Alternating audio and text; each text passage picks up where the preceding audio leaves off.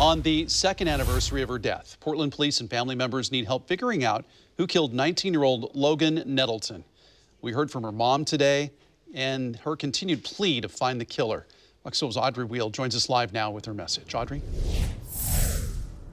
Logan Nettleton had just recently moved into her new apartment here near Southeast 174th and Powell when she was shot and killed in the early morning hours of August 30th, 2019. And today we heard the difficulty and pain from her mom in having just as many unanswered questions now as she did back then.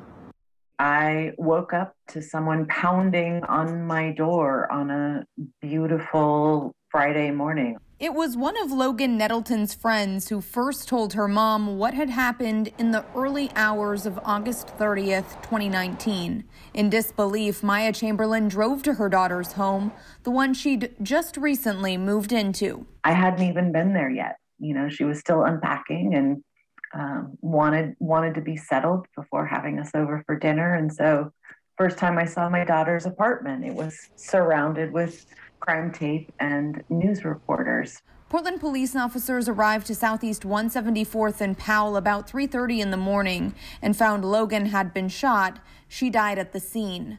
Another victim, a man, was shot several times and survived. There was also a child home at the time who was unharmed. Officers didn't find a suspect.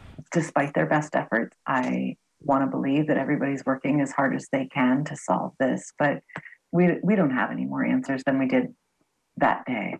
Chamberlain describes her daughter as larger than life. She was only 19, a young mom studying criminal and social justice at Portland State. She came to this life with an agenda and plans, and I didn't always know them or understand them, but she was the strongest, most confident, independent woman I've ever met.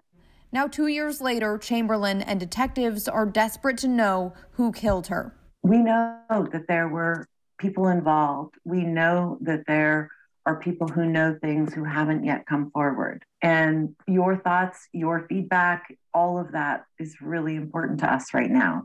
Logan was an extraordinary person, and her son is just her shining light.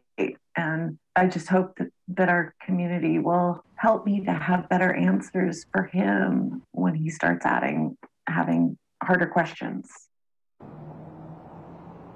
And there is a Crime Stoppers reward of up to $2,500 for information leading to an arrest. You can submit those tips anonymously through their app, and anyone with information is also urged to call Portland Police. Reporting live in Southeast Portland, Audrey Wheel, Fox 12 Oregon.